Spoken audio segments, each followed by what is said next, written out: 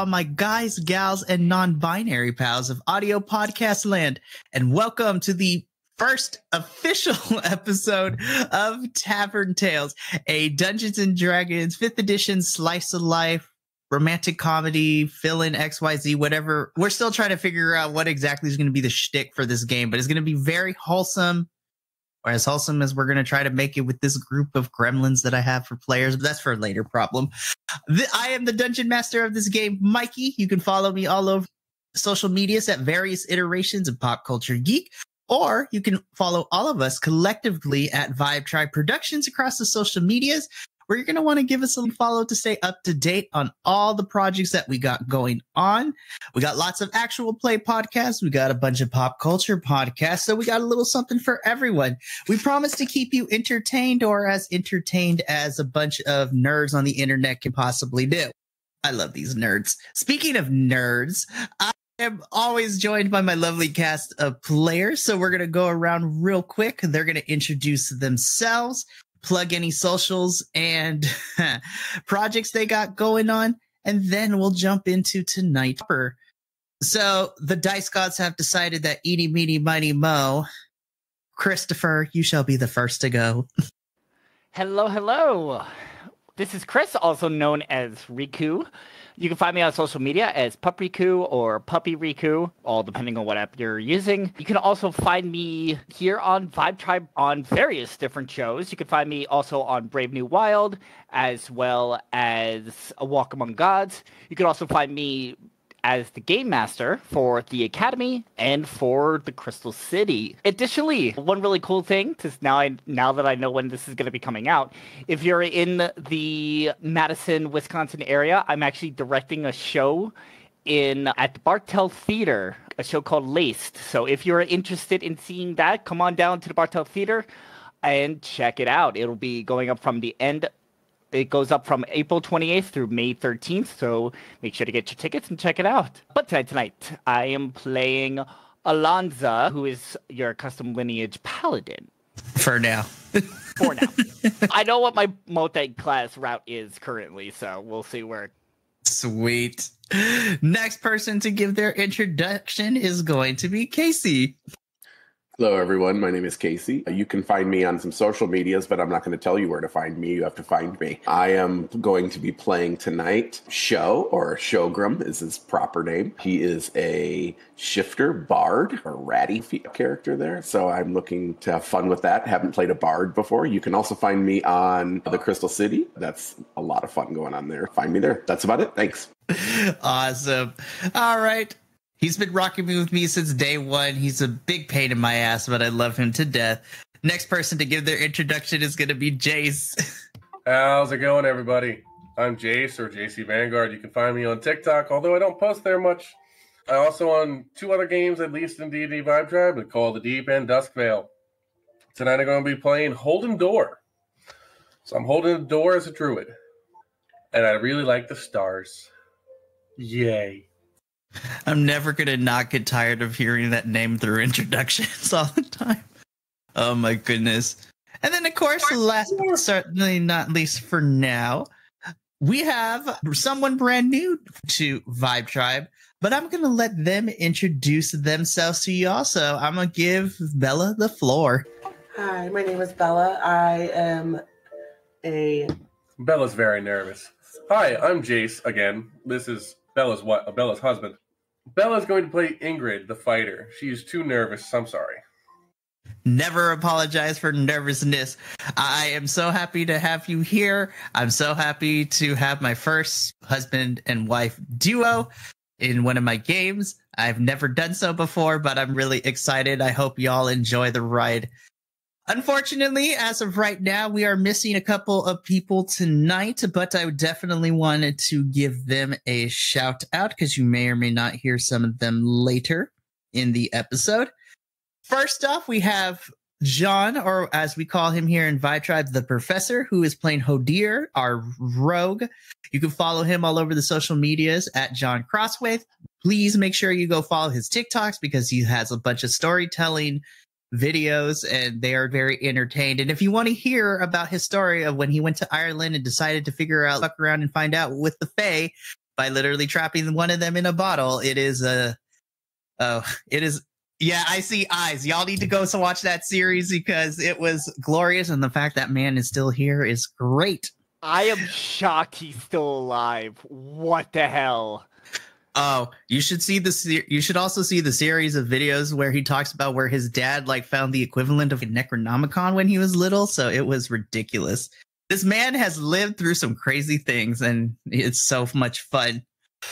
We are also missing, as of right now, Dakota, who plays Asir Lun, our sorcerer, who is in a constant rivalry of whether the moon or the stars are better with Jace's character. You can follow him all over the Discord at Shirosuki. You can also find him Mondays over at ADH Adventures for Gods of Orleia Phase 2, where he plays the wizard that messed up the world. It's all his fault.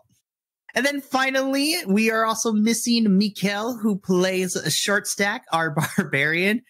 I'm gonna love this name. I'm so excited for the characterization of it. But you can follow him all over the social medias at Dungaree Mike. He is amazing. And I give him kudos because he lives halfway across the world and he stays up super early for us, but he has to work tomorrow. So therefore, that is why he's missing. But with introductions out of the way, let's get into tonight proper. So, as a bit of a disclaimer to my players and to the listening audience to get you prepared for what's about to go down, Tavern Tales is going to be designed as an episodic format in which that instead of there being a grand overarching narrative, it's going to be told in short stories of our party just helping out the locals in this little town that they're about to find themselves in. And it's going to be as wholesome as we possibly can.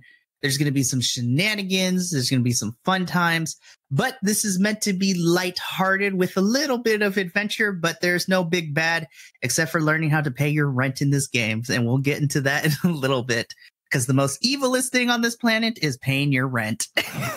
Taxes. Thankfully, there's no, I mean, there technically are taxes in this world, but I'm not going to, you're going to learn how to, how to pay room and board because you, we'll discuss that in a little bit. But with that disclaimer out of the way, let's get started. So, as the camera kind of pans out, we see our lovely adventurers walking at the moment through a serene forest. Birds are chirping, the sun is shining. There may or may not be squirrels and raccoons all over the place. There's that thing. But as the camera kind of pans in closer, we get a little bit more of high definition of our characters as they are walking along this path, heading towards their destination of a small town known as Lake Azure. So, for those of you that take notes, Lake Azure, Azure is spelled A S Z U R E. So that is the current destination that our party has seemed to find their way to where then we'll get into it in more detail in a little bit later, where there is a grand carnival happening in Lake Azure. But before we get there, why don't we get a little bit of an introduction of our party? So, as you all are walking, we're going to start in the same order. So, I'm going to go with Chris why don't you describe what your character Alonza looks like and give us a little bit of what's going on in their head at the moment? Give us their monologue thoughts. so Alonza is is a lot shorter, around dwarf or uh, gnome size in height and size, a pinkish hue on her skin. You see her sitting there. She's flipping through a book currently that appears. It, it's the book itself is just history of the land. Nothing really too exciting. Just learning about more about the area that she's in, all the stories and such, and more so just trying to look busy at this point. She has a long, trying to pull up her picture right now. Yeah, that's what I have. She has longer hair that goes down to her shoulders, also pinkish in hue, with with a bandana on, and she has a large hammer next to her. Now, looking at her at first, you think that she couldn't lift anything of this size. But if you've known Alonza for a while, she swings that thing around like it's a wiffle ball bat. She gets underestimated a lot by the local brutes of the town. As she's sitting there, she is flipping through the book and is just musing about fun stories of the day and fantastical creatures that she's met along the way and just recounting to herself, almost like telling herself a story about herself. And it's just you don't really hear anything coming out of her, but at times she'll be like give a little chuckle from behind the book, which folks find really weird because she's reading a history of the land book and she's chuckling. It's almost like she's just trying to not have to do any work right now. Oh, you're going to be one of those fun characters, aren't you? I'm so excited. This is going to be really good. As I guess I guess the best way to describe it would be as Alonza is in her own world. the camera kind of pans to her party member walking beside her Casey, why don't you give us a little bit of description of your character and their inner thoughts at the moment? sure. My character's name is Xogrim, but mostly goes by Show. As I said before, Show's a bard. Grew up in kind of a circus background, was orphaned as a young were rat.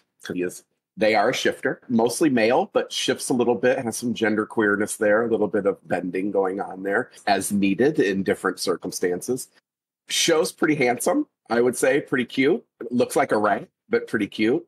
And nice green eyes, red hair, of course. Long, long red hair that's that's put up in in a long flowing like top ponytail that hangs down and on the back and also has a long beard that's separated into a couple areas with beads and stuff in it. Show dresses flowy. It can go either way, but there's a nice dress in his pa- in their pack if they need it, but generally pretty showy. About medium size, about five six only 25 years old, so pretty young, and fair skin, other than that rat look to him.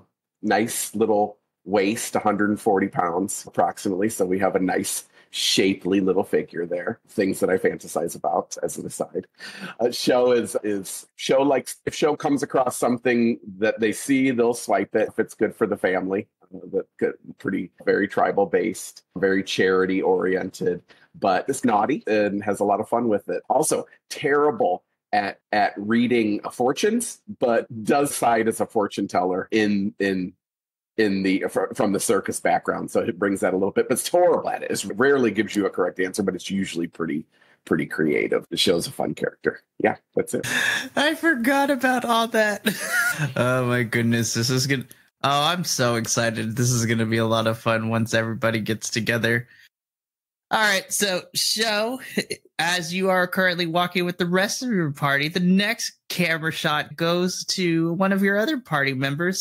So, Jace, why don't you intro your character to us? Holdon Dawwr is like a skittish. He's a druid. He's a skittish druid. He's he's more like the nerd of the group. So he's about five ten. He's got bluish gray hair with like flagstone colors of his skin as an Earth Genasi. So he looks bluish gray with a couple streaks of brown in, like mixed in. Really cool. His personality is basically books. Like anything involving books, he's all about. So he's trying to learn more and more about the stars above, or what he can learn about what happened here, like any meteorites or meteors, anything he can find involving the stars. He is in that book, or he is trying to scout for that. Oh my gosh, I love it. Yeah, so it comes to no surprise that Holdon is walking, but also just flipping through a page of her book. Always, just Gandalf with a staff and a book, always in hand. I love it so much. Yeah, so Holdon, you're interestingly enough, you're reading this book. Though the sun is out, you are well versed within the skyline that you're able to be like, there's that's going to be right there. That's going to be right there. You can see the faint outline of the moon, but you flip the bird to the moon. I don't really flip the bird to the moon. I'm I just try to explain there's more than just a moon. There's more than just those little dots we see past the moon. They're not here quite yet, but one of your party members tends to disagree, but we'll get into that conversation in a little Now, if it bit. involves him, then yeah, I'll flip the moon off.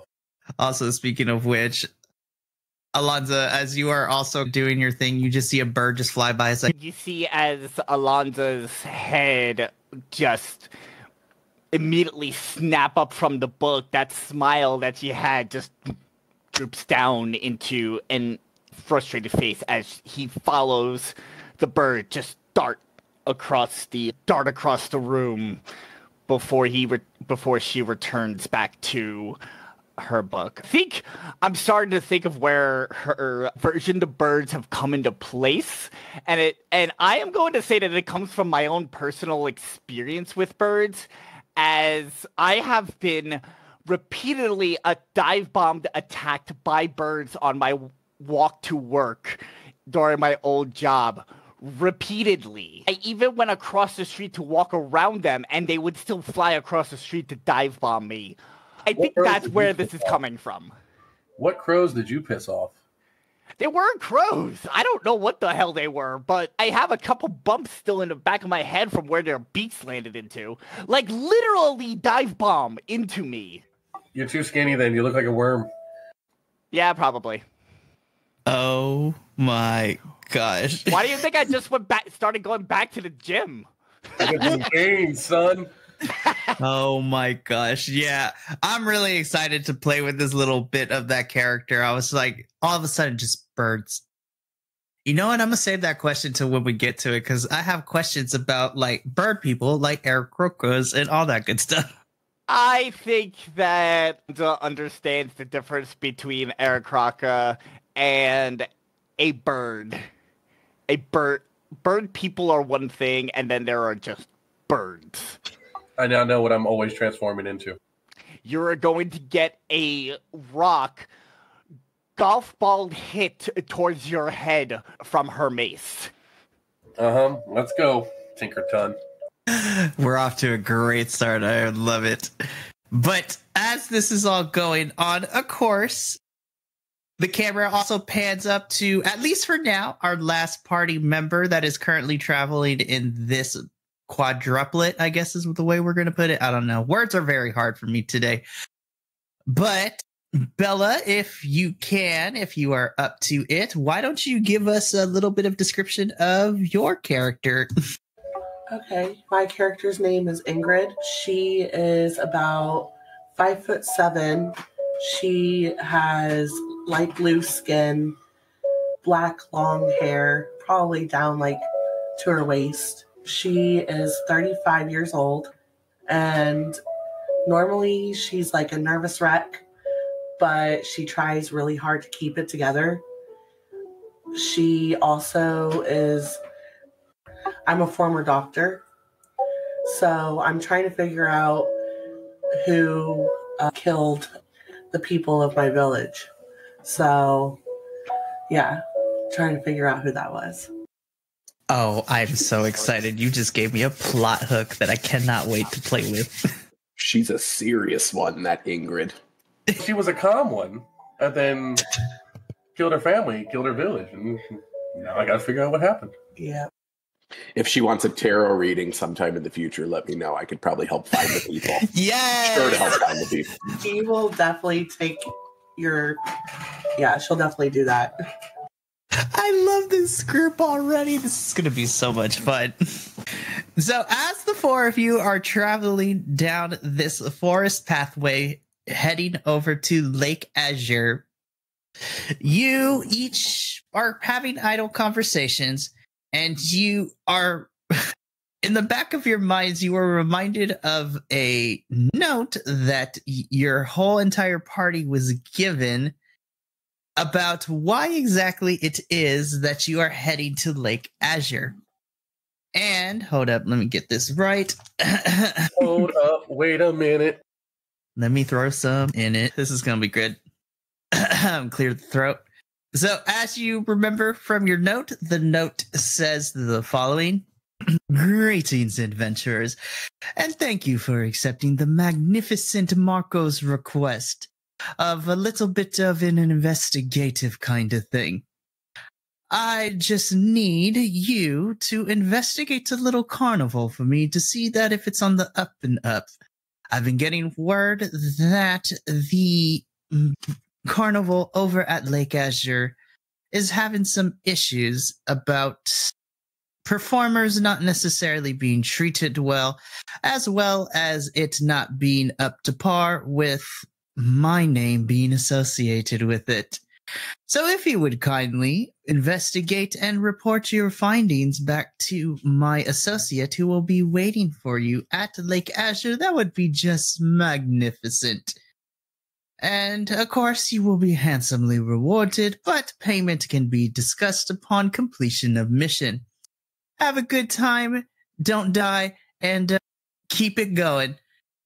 And of course, when you read this note too, for some reason, there was just like magical confetti that just pops out of the letter once you finished it upon reading. It's like, so for the Spark Notes version, the person that has hired you guys to go take a look at this carnival in Lake Azure is known as the Magnificent Marco. He, to give a little bit of information, his name is renowned in these parts of the Forgotten Realms. He is, I want to say, he's like a stage magician, but good. he's not the one you hire for a kid's birthday party at the last minute. Like, he actually knows his stuff. He can be a little bit of fit egocentric when it comes to stuff, but you know what? He can back up his skills. And he wanted some adventurers to go investigate, and y'all just happen to need the coin because Lord knows y'all are broke right now. and who doesn't like monies? Because money is a good thing, and um, it's the currency that makes things go around. Also, as an addendum to the letter two, towards the end of it, magnificent, magnificent Marco also says that your other associates will meet you at the carnival. They are currently on another mission from me at the moment to go get some supplies, but they will meet you at the location in a bit of a couple hours. And of course, as you put away the letter, you all get this amazing sight as you come over the precipice of a hillside. And as you look down into the valley where Lake Azure is currently located, you see a magnificent marine blue glint of the lake itself. Very clear, crystalline water. It's very clean with the backdrop of the mountains cascading the back one might describe the tree line as just a bunch of happy little trees just spread out there. Yes, I did quote Bob Ross. Don't at me. Don't look at me like that. oh my goodness. Listen, you will come to find I don't take myself too seriously around here, which is perfect for this game. But as you guys walk down the hillside and you get closer and closer to the carnival, you have traveled as quickly as you can at the behest of Magnificent Marco and you've made enough good time. So right now, I would say it's about early afternoon. So about 12, 1 o'clock in the afternoon. And so as you come to the crest of this hill, you begin to hear the faint music and cheering kind of grace your ears and your ear holes, so to speak. You look down to see the bright lights, tents, and a plethora of carnival attractions, as well as a multitude of patrons just going in and out between stalls and rides and that kind of thing. As you are just walking into the carnival, mm-hmm. you walk straight into the mess of tents and stalls. You are immediately hit with the sugary aroma, accompanied with a little bit of undertones of fried everything as a carnival tends to usually have. They're not the healthiest places, but who cares? It's a great time. So, as you look around the carnival, you see a variety of things. You see a meat stall that is filled with what looks to be exotic meats on, ver- on various roasting pits. which are also featuring strange animals that are being rotated.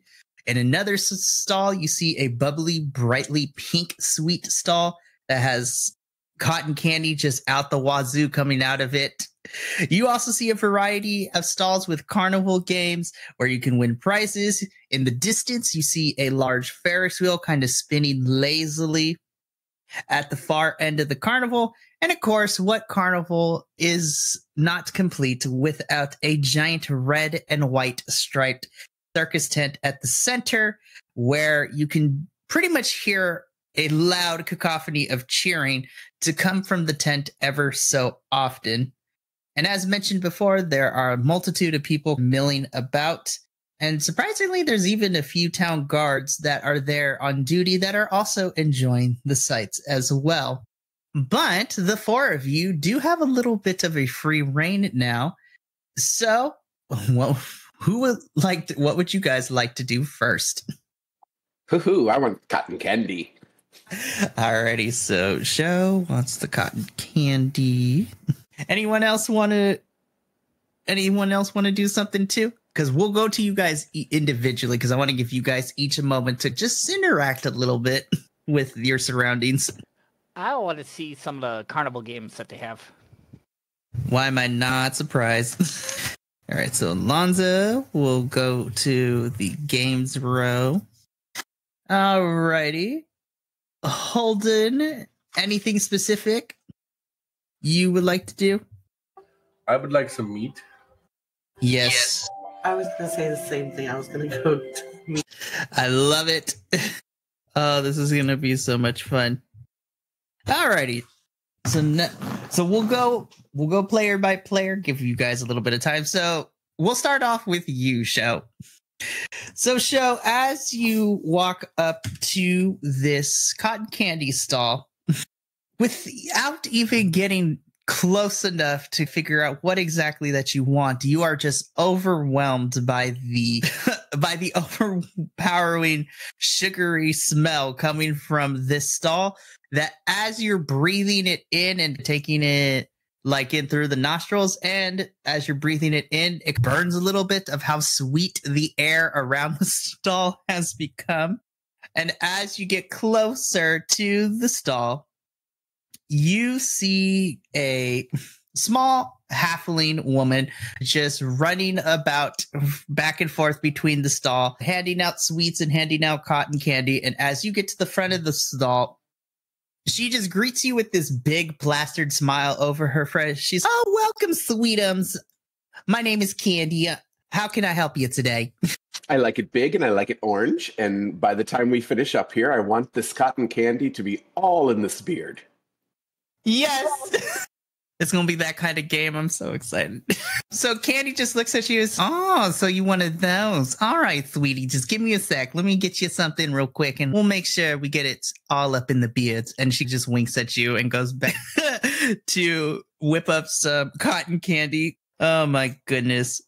So as you're looking at Candy as she's making the sweets, this isn't the first time you've had cotton candy. You've had it on multiple occasions, especially given the fact that you given your background just a tiny bit.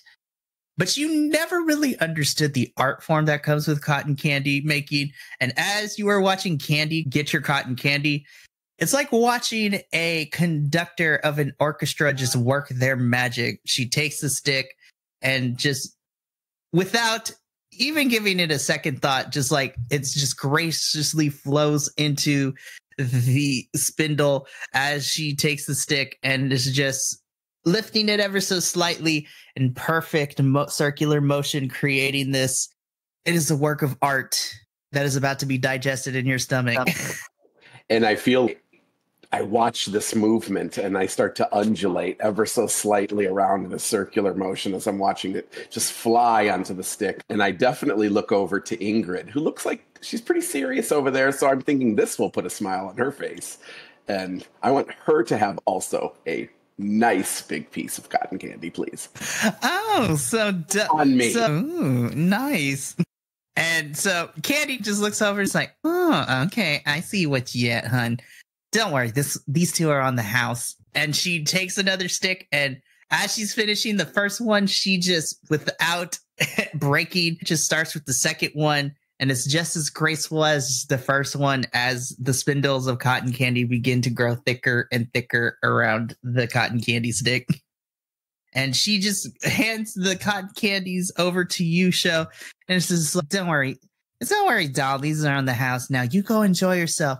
Oh, and if you want more stuff, I got some things for you later. Seems you got a bit of a sweet tooth, so if you want something a little more more than cotton candy, you come see me later, hun. Hey ho.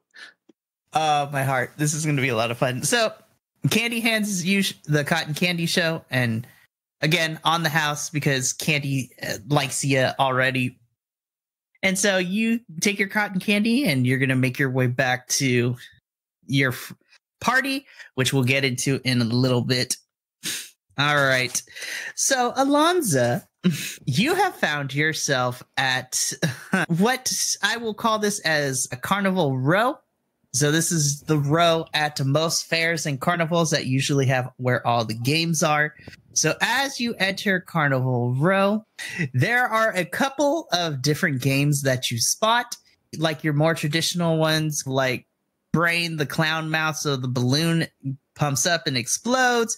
You see a dunk tank. For some reason, you see like a sack throwing competition to see who can throw a sack of flour the furthest across this open field. And then you also see what looks to be a, me- a magical mechanical bull as well. What would you like to do? Girl, you know you want to ride that bull. I do. I do want to ride that bull. It's this is gonna be very entertaining. But yes, Alonza basically makes a beeline for the bull. We'll talk off camera. Ride that bull. I knew what I was getting into, but yeah. Oh my goodness. Alrighty. So Alonza, you make your way to the mechanical bull. and as you get in line, in front, you see what you typically see with a mechanical, the very gaudy inflatable like backdrop with a desert and some inflatable cactus, like the typical faded red and blue colorings that is mostly on these mechanical bull rings as far as the inflatable part underneath it and the walls surrounding it in case you get flung too far. And as you get to the front, standing behind the operating panel, you see this kind of very stout looking gnome. Looks to be in his early, I don't know. He's got salt and pepper gray. He looks like he's seen a lot of shit, is basically what I'm trying to say. He's been around the block a couple of times. And as he looks at you as you get to the front of the line, he just eyes you up and down Alonza is like is like this should this shouldn't be too hard. I kind of look him back and goes, "Hmm, "No, it ain't." And I just stroll off on to the bowl itself. Why do I imagine Alonza like into the bowl? oh my goodness. Alrighty. How do I want to do this? Okay. I almost see her as she like dragging the hammer up behind her.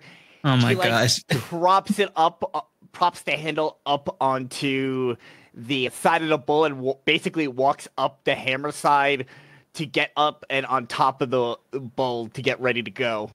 Oh, ever so with the dramatics. I love it. Alrighty. So I gotta pick my words carefully because I almost said something that was gonna sound really out of pocket. But as you no, it still sounds bad. I'm just gonna say it. The, we have an explicit rating on this podcast. We'll be fine. So as you position yourself properly as you're mounting this bull, I don't even want to say. I don't even want to say the. There's no other way to describe it. Just but you pay it. You position yourself and you sh- make sure you're in a comfortable enough position to straddle the bull. Does the song Dirrty from Christina Aguilera start playing? Yes. Where's the bard? Where's the bard to be playing it in the background? oh my gosh. Don't worry. They have, I would say, a PA system, but the PA system is just a megaphone with another bard that's like nearby. It is, yo, play that one song. And then, yeah, Dirrty plays over the PA system. Alrighty. As you get ready, the bull begins to slowly buck back and forth before starting to pick up a little bit of speed and starts to circle around. Let's see how long you last, Alonza. So go ahead. I'm gonna give you. You know what? Give me an ath- give me an acrobatics check. I'm gonna bend it just a little bit. Acrobatics, all right. Don't roll uh, that one on this. Oh, g- please! That would be hilarious. That would be an 11. Cool. You barely made it, but you So survived this. ones, stuff. but it's Oh my- 11 because I know. one one. Uh, I know. So you know what? You're you barely succeed this round, but narrate this first round of you being able to hang on. So at this moment, she gets on, she grabs the handle. You see, she looks like a child on this thing. Her legs aren't even getting down to the stirrups, they're just spread apart on that saddle. And it just starts bucking. You can see as she's almost like sliding up and down the saddle as it's bucking her. She's not able to give a good grip onto it with her thighs but while gripping onto that handle, she's able to keep herself on. You might see her like bouncing up and down from time to time from the buck. She can't really get a good grip of her legs, but she's able to hang on there just fine. We're all adults, I swear. We're all adults on this podcast. Hey, y'all are the one laughing, not me. Don't yeah. Alrighty. So round two, the DC has been upped. Let's see. Give me another acrobatics, please. That would be a six. And we were doing so good. We were doing so well. It's okay. So Alonza, as you you're like, yeah, I got the hang of this. You faintly as the bull turns, you faintly see the ride operator just give this very twisted, crooked smile as you just see him crank up the knob a little bit, which in turn makes the bull go a little spin a little faster, get a little more buck wild. And if as if you didn't have enough uh, trouble trying to keep yourself on the bull, you're losing grip and because you can't reach the stirrups in this mechanical bull, you're having a hard time just using the sheer strength. And as hard as you try, as soon as the bull like violently turns itself to the left, you just fly off this thing and you hit the inflatable side of the wall and just like in comical fa- like comically fashion, just like slowly slide against the wall as you go down to the floor. I want to say, like, I see, I see the ride operator go to crank it, and you just hear under her breath, "Oh, you fucking bitch!" But yeah, Alonza's gonna get up, dust herself off, grab her hammer, begin walking out, and as she walks past the ride ride operator, I'm assuming the ride operator's looking all smug at him, at her. Oh yeah. Can I try to like just slightly trip her, trip him? just reach out my hammer just slightly to try to just hook his leg. I'm gonna say I'm gonna say you can try. All right. I'm gonna goodness. You know what? Let's see how ac- Let's see how much of an accident you can make it look like. so I'm breaking the rule here, but uh, give me a sleight of hand, please. Sleight of hand. All right. 13. yeah. So. Alon- so as this ride operator is just smirking a little bit, Alonza, you just put on this facade. You're like, oh, this is fun, swinging your hammer, and you calculate you calculated enough where as you're passing by the right operator, you're like, oops. And it not necessarily hooks into his leg, but hooks underneath the step stool he has to stand on because he's very short. and the stool kind of just caves as it falls to the side, which thus makes the right operator be like, ah. And as he gets up to the floor and just sees you, like, literally, Urkel, did I do that? I look at I look I look at I have a Harley Quinn like smile across my face and I just go, "Honey, now I'm not a bull you want a book." And I just keep walking. oh my gosh. The ride operator just shakes his head and it's just like, in his head, he's just, I will get, my, I will vow revenge. Oh my goodness. That this, is part- this party has tude. This party has much tude. and that's just with the it's just and that's just with you four. I can't even imagine what everyone else is gonna add to this. This is gonna get out of control real fast. It's gonna be a good time. oh my goodness. But yeah, so Alonza, as you make your way back, you reconvene with Show as you see Show holding up like these two large well, has Shell eaten at least his cotton candy yet, or is he still holding on to it? I'm uh, it's all over my beard. I'm literally just picking it out and eating it as we're talking and giggling. that was great. I love to see you fall. Wow, throw shade at Alonza. I love it. Alonza, you can rebuttal if you would like. I'm gonna admit I completely missed that. I had something else going on. How dare you? No, it's kidding. But to quickly recap, so sh- show just his beard. Show's beard is all a mess with the cotton candy and just picking at the bits of it that are still there and eating it. And literally just told you that was great. I'd love to. I'd love to see you fall. Anza's just looking at him and goes, goes yeah. trying to think of the best way to put this. Sorry. he just looks back at Adam and goes, "Wish I could say the same about you, Sticky Lips." Damn. Oh my. You two are going to be so much fun as we continue on with this game. oh my goodness. Meanwhile, over at, I guess what we'll call like fantasy Arby's because they have the meats apparently. so we find ourselves over with Holdon and Ingrid as the two of you walk up to this meat stand.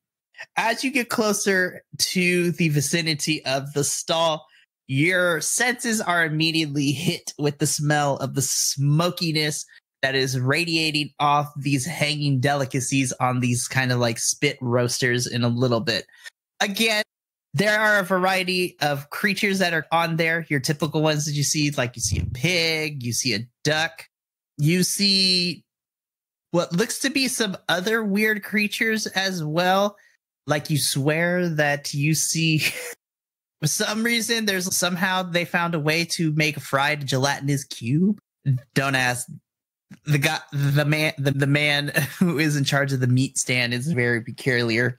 It's very. oh my goodness.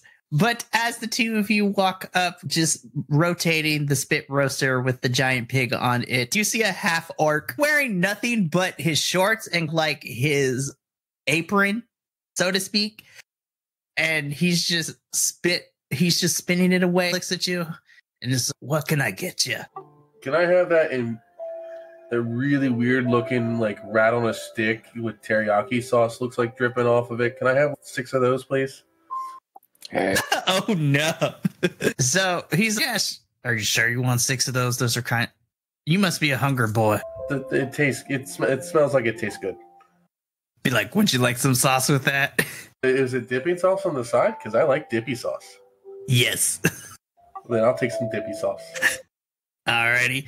And what can I get you, young lady? I just want some of the pig. I'm going safe over here. And this Learn something new unless you try something weird. No. That looks disgusting and it's dripping something that I, I don't know what that is. But it could be delicious. No. Here, look, I'll give you one of mine. You try it. You might like it. No. Come on, it only smells a little bit foreign. Oh, this dynamic I'm so excited about. so, the half orc gives you holding your six fried rats on a stick with some extra dipping sauce. Ingrid, you get like a nice kind of ketchup boat with shredded pig in it. Surprisingly, he also garnishes it with little pineapple pieces in it as well and hands it over. So I'm gonna start with you, Ingrid. Ingrid, as you take a bite out of this pig, this is amazing. It has been cooked to perfection.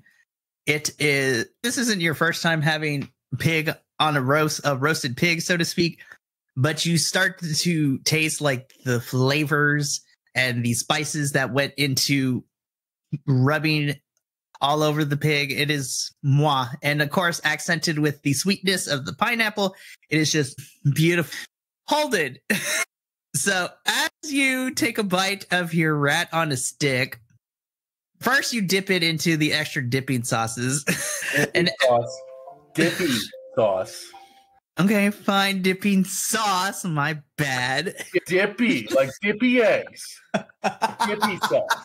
I'll show you a dippy. Anyway, so as you put it in the dippy sauce, I hate you and love you at the same time. But as you dip the rat in the dippy sauce, you take a bite out of it. At first, there really isn't a taste to it.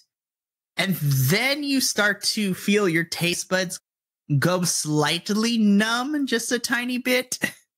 It seems that there has been one too much Cajun powder that got put on these rats. And so your taste buds are feeling a new sensation. And then the more you eat this, you get used to it. But then you, as you feel it enter your intestines and into your gastric juices, this is so glorious. Holdon, I need you to roll me a constitution saving throw, please. That's a 15. Okay. So you feel inside of your stomach, you start to hear the gurgles, and you start to, in a weird way, you're able to hear and slightly feel liquidous of form of your food trying to escape, but you're able to just be like, no, stomach, you will not do this to me today. Pull my finger. No. I will say, had you failed that roll, you would have to find the nearest outhouse. I wasn't gonna lie. As I continue to eat the meat. You're gonna get meat sweats. Hey, I don't know about you, but when I go to the Chinese restaurant, I specifically get rat on the stick. It is delicious. It's chicken teriyaki on a stick, and I love it. I call it rat on a stick, and I destroy it. yeah, you're lucky it didn't destroy anything else. Now that your character ate that, but that's for neither here nor there. That would have been a fun thing. But at this point, the four of you reconvene. Holdon and Ingrid, you just see what remains of cotton candy, just the last bit of it being picked out of Show's beard. Yolanda is just like oh, with Oh, I- her hammer. And I, I see you're eating my cousin over there. I hope they were good. I don't know what this is. Do you want to try it? Sure. Do you take a bite out of it, Show? So fucking lootly. All right, roll me a Constitution saving throw. Oh, Show, what did you roll? Oh no, four. not a oh, not a four, bro. oh, Show. So, Show, as you take a bite out of it, we still don't know if this is a cousin of yours or how you're related to what you're about to eat, but you get the same sensation that this rat has been over like slathered with Cajun powder. And but your tongue is briefly on fire, but then it settles. And a few moments pass, and you're like, okay, like this is fine. And then immediately you just feel within the bowels of your intestines, you feel your stomach begin to gurgle a little bit. But unlike Holdon, you start to feel it to be like, nah, I need to find the nearest bathroom. Where's the nearest bathroom? Get me to a bathroom. The cannibalism does not pay. No, the cannibalism does not pay. and so you just, the rest of you just see, oh my gosh, the rest of you just see Show just like book it like a bat out of hell as he runs to the nearest like outhouse. And as you, oh my gosh, as the three of you are just watching from a distance, you just hear the guttural like He should have had the extra dippy sauce. you just hear the grunts and the yells coming from the outhouse. Oh, oh, thank God.